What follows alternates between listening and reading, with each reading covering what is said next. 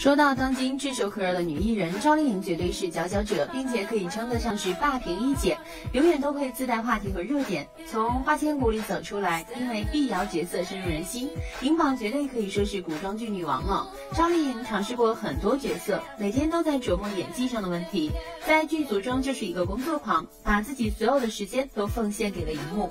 近日，一组赵丽颖的未 PS 电影剧照在网络上广泛流传，原本被称为同龄女神的她，这次。造型却意外变身土里土气的中年大妈，让人感到意外。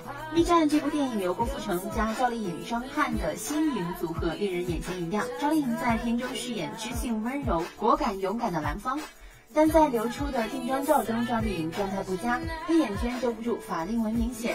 皮肤暗淡无光，紧致的小圆脸也变成了松弛粗糙的大饼脸。赵丽颖民国造型老十岁，无论是俏皮的麻花辫还是时髦的卷发，都无法让她洋气起来。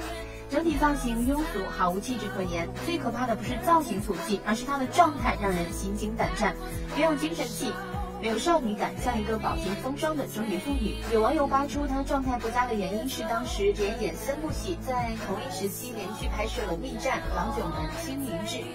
赵丽颖为了捞金，同时出演三部戏，长期熬夜连轴转，把自己整得疲惫不堪，实在不值。希望赵丽颖能注意自己的身体。